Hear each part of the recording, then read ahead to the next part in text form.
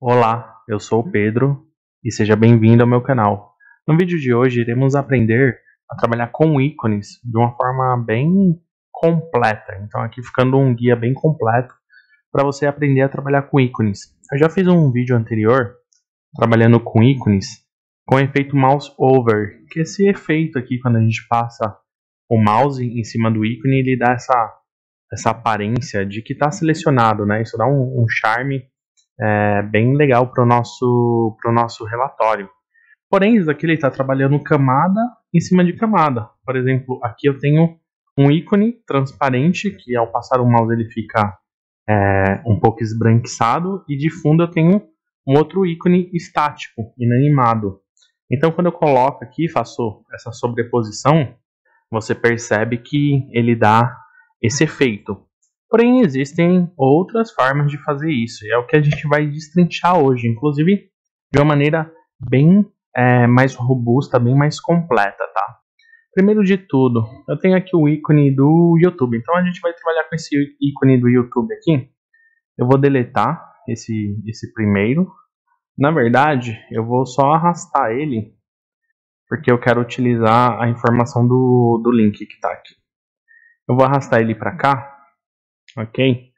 Então aqui já está meio que um em cima do outro. Arrastar esse ícone para cá e aqui a gente vai refazê-lo de uma forma diferente.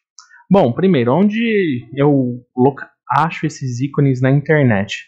Eu gosto bastante desse Flat Icon, que é um site que ele tem muitos ícones, muitos pacotes completos. Você pode utilizar ele para conseguir localizar através de, de busca o ícone que você deseja, né? Então, ele vai ficar na descrição. Eu posso baixar tanto o ícone quanto o pacote completo. Nesse caso, basta apenas digitar aqui o que eu quero e dar um search. Ele vai trazer milhares e milhares de ícones referente àquela descrição. Então aqui perceba que eu tenho 13 páginas só de ícones do YouTube, dos mais variados tipos. Vou baixar um ícone aqui. Vou baixar esse daqui, ó este ícone aqui. Basta eu clicar aqui, ó, download PNG, ele me traz para essa página, eu clico em free download, ok? E ele já vai baixar aqui, ó.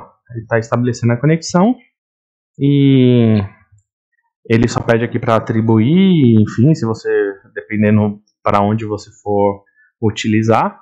E aqui já está o ícone, né? O, o ícone .png. Então deixa eu abrir minha pasta downloads aqui. E já está aqui, ó, meu ícone PNG e tal, bonitinho aqui, para eu utilizar. É, e como a gente vai fazer isso no Power BI? Então, eu vou inserir, e aqui eu peço para inserir um botão. E aí eu posso pedir para adicionar um botão em branco aqui, tá? Adicionei um botão em branco, já vou posicionar ele aqui primeiro. E a partir daqui a gente vai fazer algumas edições. Então, nas propriedades aqui do botão, é, eu posso colocar um ícone ou não, a linha de borda ou não também, tá? É, enfim, eu posso fazer várias configurações aqui, ó, background, tiro o background desse ícone, mas o mais legal aqui é nessa parte de é, imagem, tá? Então aqui é, os ícones eles possuem quatro estados: é, o default, o selecionado, o pressionado e o disable. É, o disable ele é mais para drill through, né, que são relatórios cruzados. Isso é um tema para um outro vídeo, então a gente vai trabalhar esses três estados aqui. O default, o, o pressionado, o selecionado e o pressionado, tá? Então aqui, ó, no default, eu vou adicionar uma imagem.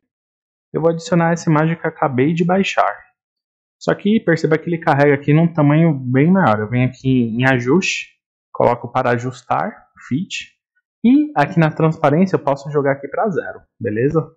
É, o único ponto é que ele não permite que o fundo fique transparente, diferente do desse método que eu fiz aqui, eu vou deixar no card, tá? Dependendo, é, diferente desse método, que o ícone de fundo ele fica transparente. Aqui eu preciso, no mínimo, atribuir é, a, a cor de fundo a mesma cor onde ele irá ficar. É, aqui eu já tenho é, essa cor salva em, em RGB, porque eu fiz uma medida aqui. Cor de fundo, eu vou utilizar essa daqui, essa cor de fundo aqui, tá? Vou utilizar essa cor de fundo, que é, é essa cor de fundo aqui de, do, do modo dark aqui, então ele vai dar, vai dar a sensação de que tá transparente, mas no fundo ele só tá fazendo esse, esse truque, né? Então, ó, perceba aqui, agora eu coloquei essa imagem com essa cor de fundo, e agora sim dá a mesma sensação estética que esse outro ícone. Mas se eu arrastar ele para um lugar que a cor de fundo é diferente, perceba aqui, ele, ele vai aparecer, né? Então você tem que tomar esse cuidado. A diferença do outro método é que eu posso pegar esse ícone aqui e arrastar, ó, realmente o fundo dele está transparente, tá? É, e aí vai do seu projeto. Se o seu projeto é, necessita que é, é, não tenha uma, uma cor de fundo, aí você pode recorrer a esse outro método. Como eu falei, vou deixar no card aí também para você assistir depois desse vídeo. Aqui eu vou deixar na mesma dimensão, deixa eu só me recordar qual que é a dimensão aqui, ó, é 80 por 80, tá? Então vou deixar aqui 80 por 80. Basicamente eu já tenho um botão, né? Embora ele esteja sem ação nenhuma, eu já tenho o botão aqui. Porém, é, eu quero dar um efeito nesse botão. Então quando eu passar o um mouse em cima, eu quero que ele mude de cor, indicando que eu estou com o mouse é, em cima daquela, daquele botão. Dessa mesma forma aqui, só que é um pouquinho diferente, vocês vão ver.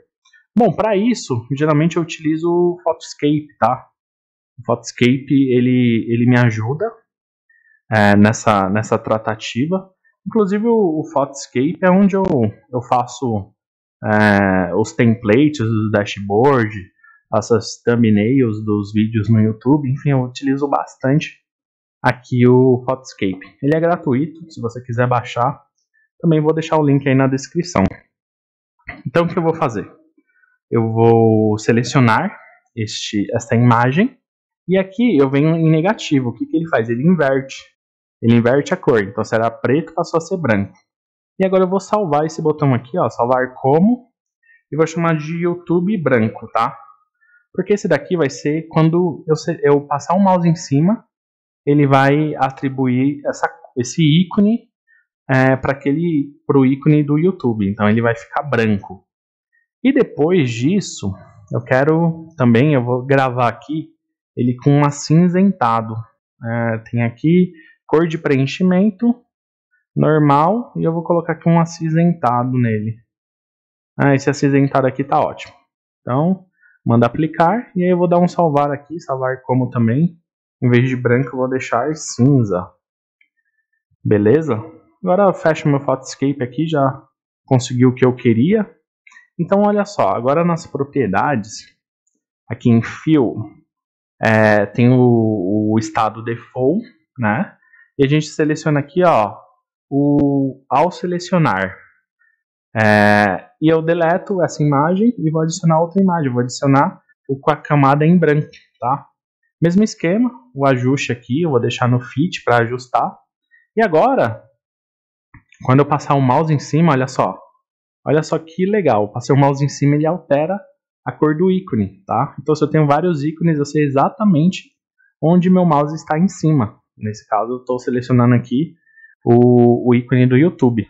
Porém, quando eu clico, ele volta para o estado padrão. Eu não gostaria que ele voltasse para o estado padrão. Eu gostaria de deixar uma, uma cor diferente, indicando ao usuário que ele está clicando naquele ícone. Então lá no fit, no fio, perdão, é, a gente vem aqui em on press, tá? Vou deletar esse YouTube e vou colocar o, o cinza que eu criei.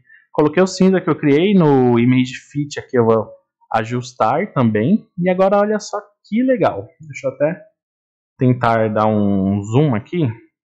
Dei um zoom. Olha só, eu tô passando o mouse em cima do botão. Opa, agora cliquei no dashboard. Tô passando o mouse em cima do botão. E agora eu vou pressionar. Pressionei, olha só, ele mudando de cor. Então, dá um charme totalmente dar aquele plus que você vai conseguir dar no seu dashboard aí, porque hoje em dia os dashboards eles têm eles estão vindo com a característica de sistema mesmo, né? Então por isso que eu trago várias dicas no meu canal, como você colocar uma mensagem é, cordial aqui, se tá de noite, boa noite, se tá de dia, bom dia, é, vários truques, né? Atualização, quando o dashboard foi atualizado, porque hoje em dia os dashboards, os relatórios, eles têm é, eles estão vindo mais com a cara de software, sabe? É uma curva evolutiva aí do BI. A gente plotava antigamente aqueles gráficos mais default do Power BI, com linha, com eixo, com isso e aquilo, e com o tempo a gente foi. Ah, isso daqui dá para deixar mais charmoso, isso daqui dá para colocar uma imagem de fundo, e a gente foi aprimorando. Então hoje em dia, é, um, um, relatório sem é, ícones de navegação não é um relatório completo. E aqui eu trouxe é, vários métodos, dois métodos, né, de como você conseguir colocar esses ícones de navegação. Pode ser através do, de truques, como esse do mouse over, ou então é, utilizando as próprias funcionalidades aqui que o Power BI já dispõe. E muita gente não sabe, né, que a gente consegue fazer esse truquezinho aqui. Então, olha só a diferença agora. Eu vou posicionar, eu não preciso mais trabalhar com camadas, como é nesse daqui, tá? E esse daqui ele só esbranquiça o, a imagem, mas também atende os requisitos. Mas esse daqui ele vai além, ele muda a cor do ícone quando eu passo o mouse em cima e quando eu pressiono ele também modifica, indicando que eu estou pressionando aquele aquele ícone. Agora eu só vou atribuir aqui a ação, action, vou colocar aqui ó, o link do, do meu canal no YouTube, eu poderia colocar uma página aqui de, de navegação, enfim. E aqui eu só vou atribuir aqui ó, no Action é, o, o web URL e vou colocar aqui meu canal. Então se aqui eu pressionar Ctrl Enter, ele já vai direcionar aqui para o meu canal. Né? Muito legal isso daqui, tá? Se você não é inscrito, já peço aí para você se inscrever no, no meu canal. Tem muito, muito vídeo legal, tem muita coisa vindo aqui, ó, já definir lembrete, são vídeos é, programados, tá? E esse é o truque que eu queria trazer hoje.